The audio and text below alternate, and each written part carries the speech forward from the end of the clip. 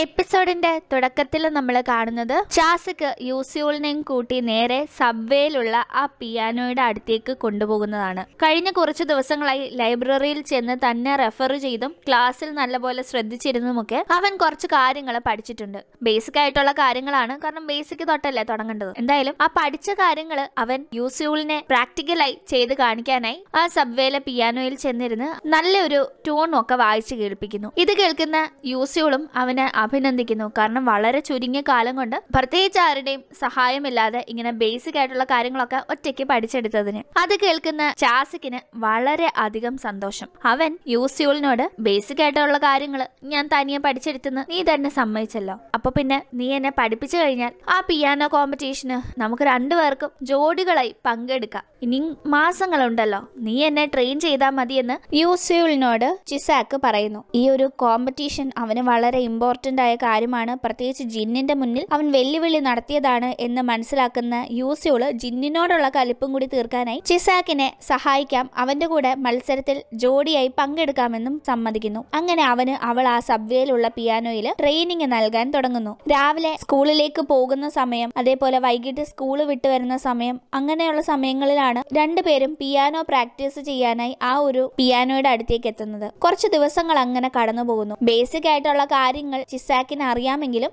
യൂസ്യൂൾ പറഞ്ഞു കൊടുക്കുന്ന രീതിയിലൊന്നും അവന് പെർഫോം ചെയ്യാൻ സാധിക്കുന്നില്ല. ആദ്യമൊക്കെ ഇന്ന് ശരിയാകും നാളെ ശരിയാകും എന്ന് വിചാരിച്ച് യൂസ്യൂൾ അത് കാര്യമാക്കി എടുക്കുന്നില്ലെങ്കിലും പിന്നീട് ശരിയാവാതെ അവൻ കൂടുതൽ കൂടുതൽ തെറ്റുകൾ വരുത്തുന്നത് യൂസ്യൂളിനെ വല്ലാതെ ചൊടിപ്പിക്കുന്നു. അവൾ അവനോട് ദേഷ്യപ്പെടുന്നു. ഒരു കുന്തവും അറിയാത്ത നിന്റെ കൂടെ ആ മത്സരത്തിന് മത്സരിക്കാന്ന് വിചാരിച്ച എന്നെ പറഞ്ഞാൽ മതിയല്ലോ. മനുഷ്യനെ നാണം കെടുത്താനായിട്ട് വന്നേക്കുന്നു. ഇനി നിന്നെ പഠിപ്പിക്കാൻ എനിക്ക് സൗകര്യം ഇല്ല എന്നൊക്കെയാണ് അവൾ പറയുന്നത്. അത് കേൾക്കുന്ന അവനും ദേഷ്യം വരുന്നു. ഇനി നിന്റെ കീഴിൽ പഠിക്കാൻ എനിക്കും താല്പര്യമില്ല എന്ന് പറഞ്ഞ് അവളോടുള്ള ദേഷ്യമെല്ലാം കണ്ണിൽ കണ്ട സൈൻ ബോർഡിനൊക്കെ ഇട്ട് ഇടിച്ചു തീർക്കുകയാണ് അവൻ. ഇതേ സമയം ചിസാക്ക് ഇടയ്ക്കിടയ്ക്ക് അവന്റെ അച്ഛനായ ആ പിയാനോ ആർട്ടിസ്റ്റിന് കത്തുകൾ അയക്കാറുണ്ടായിരുന്നു. അദ്ദേഹത്തിന് കിട്ടുന്ന കത്തുകൾ അദ്ദേഹം വായിക്കാറും ഉണ്ടായിരുന്നു. ചിസാക്ക് താനും തന്റെ സുഹൃത്തും ജോഡികളായി പിയാനോ കോമ്പറ്റീഷനോ മത്സരിക്കുന്നുണ്ടെന്നൊക്കെ കത്തിൽ എഴുതി വെച്ചിരിക്കുന്നത് വായിക്കുന്ന അദ്ദേഹം ആ കോമ്പറ്റീഷൻ കാണാൻ തനിക്ക് പോകണമെന്നും അതിനുവേണ്ട കാര്യങ്ങളൊക്കെ ഇപ്പോഴും അറേഞ്ച് ചെയ്യണമെന്നും പി എയോട് സംസാരിക്കുന്നു. ഇതേ സമയം ചിസാക്കിനോട് പിണങ്ങി യൂസ്യൂൾ തനിയെ നടന്നു പോവാണ് അവളിങ്ങനെ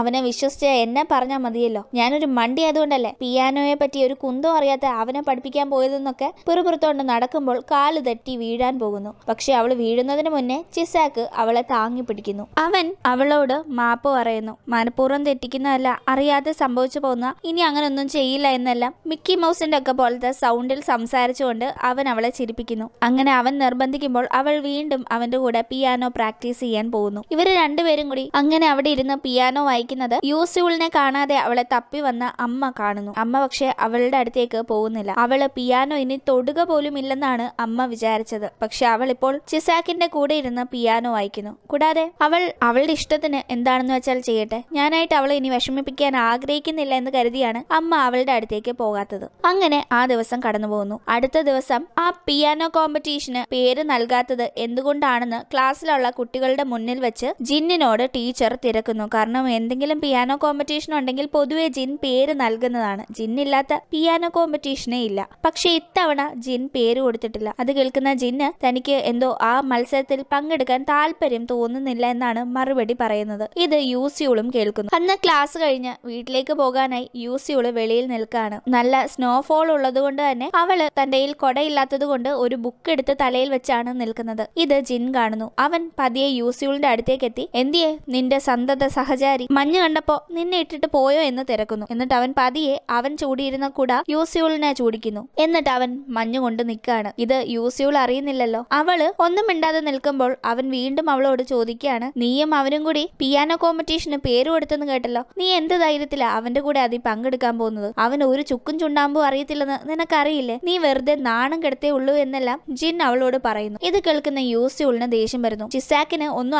അറിയത്തില്ലെന്ന് നിനക്കാണോ അറിയാവുന്നത്? ഞാനിപ്പോൾ കുറച്ച് ദിവസങ്ങളായി അവനെ പിയാനോ പഠിപ്പിക്കുന്നുണ്ട്. അവൻ നന്നായി പഠിക്കുന്നുണ്ട്. നല്ല ഇമ്പ്രൂവ്മെന്റ് ആണ് ഓരോ ദിവസം കഴിയുമ്പോഴും കാണിക്കുന്നത്. അതുകൊണ്ട് അവന്റെ കുറ്റമൊന്നും കൂടുതൽ പറയണ്ട എന്നെല്ലാം യൂസ്യൂൾ പറയുമ്പോൾ ഇവർ രണ്ടുപേരും സംസാരിക്കുന്നത് കേട്ടോണ്ട് അങ്ങോട്ടേക്ക് ചിസാക്ക് വരുന്നു. തന്നെ എപ്പോഴും വഴക്ക് പറയാറുള്ള യൂസിയോൾ തന്നെ പറ്റി ജിന്നിനോട് നല്ലത് പറയുന്ന കേൾക്കുന്ന അവന് ഭയങ്കര സന്തോഷം. അവൻ തുള്ളിച്ചാടി ഇവരുടെ ഇടയിൽ കയറിയിട്ട് ഇവിടെ നടന്ന സംഭാഷണം എല്ലാം ഞാൻ കേട്ടു. കിട്ടേണ്ടത് കിട്ടിയപ്പോ തൃപ്തിയായല്ലോ. ഇനി പൊക്കോ എന്ന് ജിന്നിനോട് പറഞ്ഞു അവൻ കൊട കൊടയും പിടിച്ച് യൂസിയുളിനെ കൂട്ടിക്കൊണ്ടുപോകുന്നു അങ്ങനെ മുന്നോട്ട് നടക്കുന്ന സമയത്തല്ല യൂസിയുളിനോട് അവൾ ജിന്നിനോട് തന്നെ പറ്റി സംസാരിച്ചതിൽ ഒരുപാട് സന്തോഷമുണ്ടെന്നെല്ലാം ചിസാക്ക് പറയുന്നു. അത് കേൾക്കുമ്പോൾ യൂസിയുൾ നടത്തം നിർത്തിയിട്ട് ചിസാക്കിനോട് ചോദിക്കുകയാണ് നമ്മൾ നിൽക്കുന്ന സ്ഥലത്ത് ഇപ്പൊ മറ്റാരെങ്കിലും ഉണ്ടോ എന്ന്? ആ സമയത്ത് ചിസാക്ക് ചുറ്റിനും നോക്കിയിട്ട് ആരുമില്ല എന്ന് പറയുന്നു. അവൻ കരുതുന്നത് അവൾ ഇനി തന്നെ കിസ് ചെയ്യാനായിട്ടാണ് ഇങ്ങനെ ചോദിക്കുന്നതെന്നാണ്. അതുകൊണ്ട് പതിയെ കവളൊക്കെ ഒന്ന് പൊടി തട്ടി കളഞ്ഞതിന് ശേഷം ആരുമില്ല എന്താന്ന് വെച്ചാൽ നീ പറഞ്ഞോ എന്ന് പറയുന്നു. അവൾ ഉടനെ അവന്റെ ഷർട്ടിന് കുത്തിപ്പിടിച്ചിട്ട് ഇത് ഞാൻ വളരെ സീരിയസ് ആയിട്ട് പറയുക. വേറെ ആരുടെ മുന്നിൽ നാണം കിട്ടാലും എനിക്കത് വിഷയമല്ല.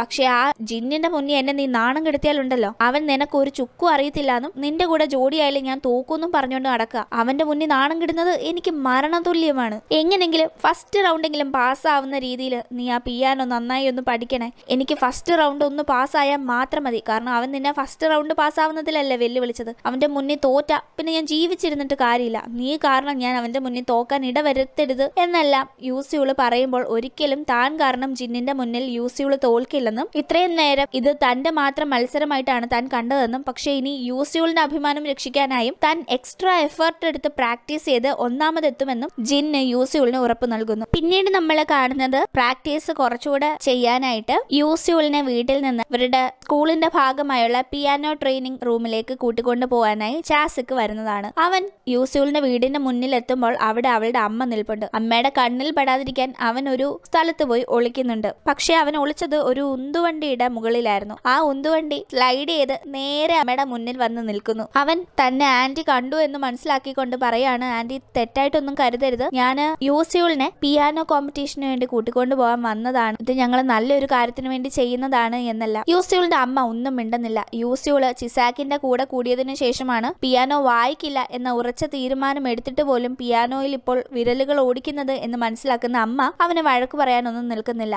ഇതേ സമയം ചിസാക്കിന്റെ ശബ്ദം വെളിയിൽ കേൾക്കുന്ന യൂസ്യൂൾ പതിയെ ഡോറ് തുറന്ന് വെളിയിലേക്ക് വന്നിട്ട് "ഷ്ഷ്, ഒന്നും മിണ്ടാതിരിക്കോ? അമ്മയുണ്ട് അകത്ത്. ഞാൻ പിയാനോ വായിക്കുന്ന കാര്യം അമ്മ അറിയണ്ട. ഈ സമയത്ത് നിന്റെ കൂടെ വരുന്നതും ചിലപ്പോൾ അമ്മയ്ക്ക് ഇഷ്ടാവത്തില്ല എന്നല്ല യൂസ്യൂൾ ചിസാക്കിനോട് പറയാണ്. അമ്മയുടെ മുന്നിൽ നിന്ന് അമ്മയെ പറ്റി ഇങ്ങനെ പറയുന്നത് കേൾക്കുമ്പോൾ യൂസ്യൂളിനോട് അത് പറയാൻ സാധിക്കാതെ ചിസാക്കും കുന്തം വിഴുങ്ങിയതുപോലെ നിൽക്കുന്നു. യൂസ്യൂളിന്റെ അമ്മ ഇതെല്ലാം കേട്ടിട്ട് ഒന്നും മിണ്ടുന്നില്ല. കാരണം അവരുടെ മകൾ പറഞ്ഞതിൽ തെറ്റുണ്ടെന്ന് അവർക്കും തോന്നുന്നില്ല. അങ്ങനെ യൂസ്യൂളിനെ കൂട്ടി ചിസാക്ക് സ്കൂളിന്റെ ആ ട്രെയിനിങ് റൂമിലേക്ക് പോകുന്നു. ഇതേ സമയം ഇവർക്ക് മുന്നേ അവിടെ ജിൻ ഇരിപ്പുണ്ട്. അവന് വീട്ടിൽ നടക്കുന്ന പ്രശ്നങ്ങളൊക്കെ കാരണം വീട്ടിൽ പോകാൻ താല്പര്യമില്ലാതെ മനസ്സ് വളരെ ഡിസ്റ്റർബ്ഡ് ആയി ഇവിടെ ഇങ്ങനെ സമയം ചെലവഴിച്ചുകൊണ്ടിരിക്കുകയാണ് അപ്പോഴാണ് ഇങ്ങോട്ടേക്ക് ആരോ വരുന്നത് മനസ്സിലാക്കി അവൻ പോയി ഒളിച്ചിരിക്കുന്നത്. നോക്കുമ്പോൾ ചിസാക്കും യൂസ്യൂളും. അവൻ അവരുടെ മുന്നിൽ പെടാതെ ഒളിച്ചിരിക്കുന്നു. അവർ രണ്ടുപേരും സംസാരിക്കുന്നതും കേൾക്കുന്നു. യൂസ്യൂൾ ചിസാക്കിനോട് പറയാണ് നമ്മൾ ജോഡികളായി മത്സരിക്കുന്നത് കൊണ്ട് തന്നെ നമ്മളിൽ ആരെങ്കിലും ഒരാൾ ഒരു മിസ്റ്റേക്ക് വരുത്തിയാൽ തന്നെ അത് നമ്മുടെ രണ്ടുപേരുടെയും പെർഫോമൻസിനെ ബാധിക്കുന്നതായിരിക്കും. അതുകൊണ്ട്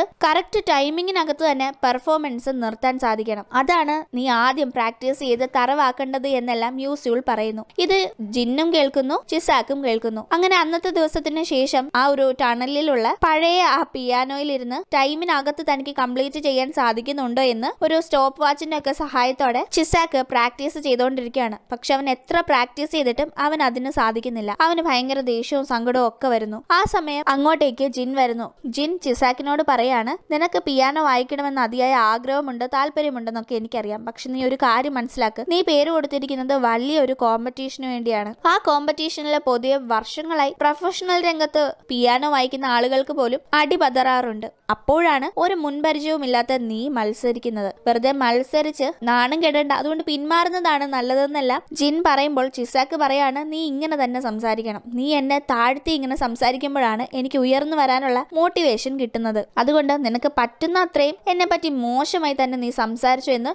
ജിന്നിനോട് പറഞ്ഞുകൊണ്ട് ജിൻ പറയുന്ന ഓരോ കാര്യങ്ങളെയും ഒരു മോട്ടിവേഷൻ പോലെ എടുക്കുകയാണ് ചിസാക്ക്. പിന്നീട് നമ്മൾ കാണുന്നത് ചാസിക്കിന്റെ അമ്മേനെയാണ്. ചാസിക്കിന്റെ അമ്മ യൂസ്യൂളിന്റെ വീട്ടിലേക്ക് ചെല്ലുന്നു. ആ സമയം അവിടെ യൂസ്യൂളിന്റെ അമ്മയായിരുന്നു ഉണ്ടായിരുന്നത്. യൂസ്യൂളിന്റെ അമ്മയോട് ഞാൻ ചാസിക്കിന്റെ അമ്മയാണെന്നെല്ലാം പറഞ്ഞ് ഇവർ സംസാരിക്കുന്നു. അതിനുശേഷം അവന് പിയാനോ വായിക്കാൻ ഭയങ്കര ഇഷ്ടമാണ്. അതുകൊണ്ട് തന്നെ അവനൊരു പിയാനോ വാങ്ങി കൊടുക്കാനായിട്ട് ഞാൻ തീരുമാനിച്ചിരിക്കുക. നിങ്ങൾ വലിയൊരു പിയാനോ ടീച്ചർ അല്ലേ? അപ്പോൾ എന്തെങ്കിലും സജഷൻ ഉണ്ടെങ്കിൽ പറഞ്ഞാൽ നല്ലതായിരുന്നു എന്നെല്ലാം ചാസിക്കിന്റെ അമ്മ പറയുമ്പോൾ ഒന്നാമത് ഭയങ്കര വിഷമത്തിൽ ഡ്രിങ്ക്സ് അടിച്ചുകൊണ്ടിരിക്കുകയായിരുന്നു യൂസുലിന്റെ അമ്മ. അവർ സംസാരിക്കാൻ തുടങ്ങുന്നു. നമ്മൾ ആദ്യം നമ്മൾ ചെയ്യുന്ന കാര്യം നമ്മുടെ മക്കൾക്ക് സന്തോഷം നൽകുന്നുണ്ടോ എന്നാണ് മനസ്സിലാക്കേണ്ടത്. ഞാൻ വർഷങ്ങളായി എന്റെ മകളെ പിയാനോയിൽ തന്നെ കെട്ടിയിട്ടിരിക്കുന്ന പോലെയായിരുന്നു. അവൾ മത്സരിക്കുന്നു സമ്മാനങ്ങൾ നേടുന്നു പ്രശംസ നേടുന്നു. ഇതെല്ലാം അവളെ സന്തോഷിപ്പിക്കുന്നുണ്ടെന്നാണ് ഞാൻ കരുതിയത്. പക്ഷെ യഥാർത്ഥത്തിൽ അതായിരുന്നില്ല അവളുടെ സന്തോഷം. അതെല്ലാം എന്റെ സന്തോഷം മാത്രമായിരുന്നു. എന്റെ സന്തോഷത്തിന് വേണ്ടിയാണ് ഞാൻ അവളെ ഇങ്ങനെ പിയാനോയിൽ തന്നെ പിടിച്ചിരുത്തിയത് എന്നെല്ലാം എനിക്ക് ഇപ്പോഴാണ് മനസ്സിലാവുന്നത് എന്നെല്ലാം അമ്മ പറയുന്നു. അതിനുശേഷം ചാസിക്കിന്റെ അമ്മയോട് പറയാണ് നിങ്ങൾ ചെയ്യാൻ പോകുന്ന ഈ കാര്യം നിങ്ങളുടെ മകനെ സന്തോഷിപ്പിക്കുമെന്ന് നിങ്ങൾക്ക് നൂറ് ശതമാനം ഉറപ്പുണ്ടെങ്കിൽ ഉറപ്പായും നിങ്ങൾ അത് ചെയ്യണം. വേണമെങ്കിൽ അവൻ സന്തോഷിക്കുന്നുണ്ട് എന്ന് നിങ്ങൾക്ക് അത്ര ഉറപ്പുണ്ടെങ്കിൽ ഞാൻ എന്റെ പിയാനോ തന്നെ തന്നേക്കാമെന്ന്. എന്തായാലും എന്റെ മകൾക്ക് പിയാനോയോടൊന്നും ഒരു താല്പര്യവുമില്ല. പിന്നെ എനിക്ക് എന്തിനാ ഇതെന്നെല്ലാം യൂസുകളുടെ അമ്മ പറയുന്നു. ഇതെല്ലാം കേൾക്കുന്ന ചാസികിന്റെ അമ്മ എന്ത് സംസാരിക്കണം എന്നറിയാതെ നിൽക്കുകയാണ് കാരണം ചാസികിന്റെ അമ്മയ്ക്കും ഒരു എഴുത്തുകാരി ആകണമെന്ന ആഗ്രഹം ഉണ്ടായിരുന്നു. പക്ഷെ അത് ഇന്ന് വരെ നിറവേറ്റാൻ സാധിച്ചിട്ടില്ല.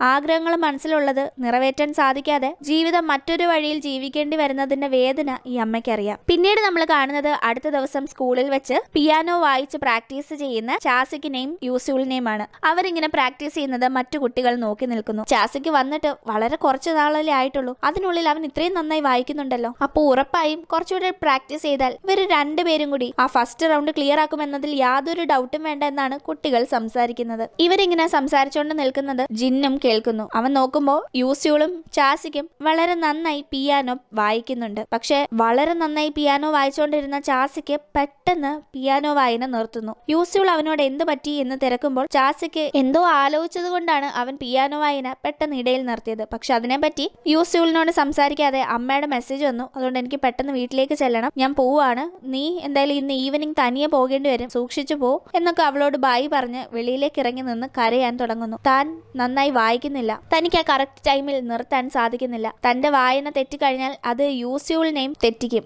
യൂസ്യൂളും അവിടെ നാണം കെടും. അവളും തോൽക്കും. ഈ കാര്യങ്ങൾ ഓർത്ത് അവന് സങ്കടം സഹിക്കാൻ പറ്റാതെ ഇരുന്ന് കരയാണ്. ഇത് ജിന്നും കാണുന്നു. ജിൻ താൻ കരയുന്നത് കാണുന്നു എന്ന് മനസ്സിലാക്കുന്ന ചാസിക് ജിന്നിന്റെ അടുത്തേക്ക് ചെന്ന് എന്നെ നീ ഒന്ന് സഹായിക്കുമോ എന്ന് ചോദിക്കുന്നു. അത് കേൾക്കുമ്പോൾ ജിന്ന് ഞാനോ നിന്നെ സഹായിക്കാനോ? നീ എന്നെയല്ലേ വെല്ലുവിളിച്ചത്? ആ കോമ്പറ്റീഷന്റെ ഫസ്റ്റ് റൗണ്ട് എന്നല്ല ഫസ്റ്റ് പ്രൈസ് തന്നെ അടിച്ചിരിക്കുമെന്ന്. ആ എന്റെ സഹായം ചോദിക്കാൻ നിനക്ക് നാണമില്ലേ എന്ന് ചോദിക്കുന്നു. എന്തുത്തരം പറയുമെന്നറിയാതെ ചാസിക്ക് വളരെ വിഷമിച്ചും നിൽക്കുന്നു. അങ്ങനെ അതോടെ ഇന്നത്തെ എപ്പിസോഡ് ഇവിടെ അവസാനിക്കുകയാണ്. ഇനി ഈ ഡ്രാമയിൽ നമുക്ക് കാണാനായി ഒരേ ഒരു എപ്പിസോഡും കൂടിയേ ബാക്കിയുള്ളൂ. അപ്പോൾ ഇന്നത്തെ വീഡിയോ ഇഷ്ടപ്പെട്ടെങ്കിൽ ലൈക്ക് അടിക്കാൻ മറക്കല്ല്? നമുക്ക് അടുത്ത ഫൈനൽ എപ്പിസോഡുമായി കാണാം. ബൈ